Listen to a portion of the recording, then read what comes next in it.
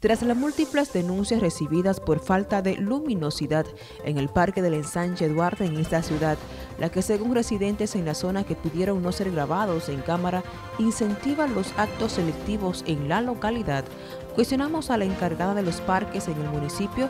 Esta dijo que la falta de bombillas en gran medida se debe a que desaprensivos las roban o las rompen. Este parquecito nosotros ya lo hemos iluminado varias veces Incluso lo último que me hicieron ahora, que nosotros le pusimos globo, bombillo, todo nuevo le pusimos, que le entraron a pedra a ese parque.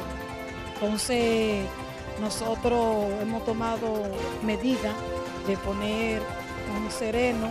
Aparte de eso, entró ahora en el presupuesto nuevo para remodelar ese parque, o sea, ponerle torres diferentes, más altas.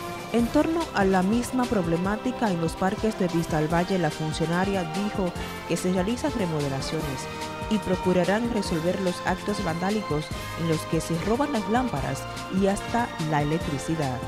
Se roban la luz, ¿verdad que sí? Porque la conecta de norte me lo, me lo reportan.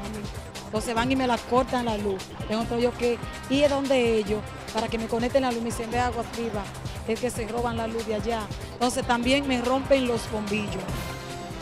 Sí, en Valle también tengo ese mismo problema allá.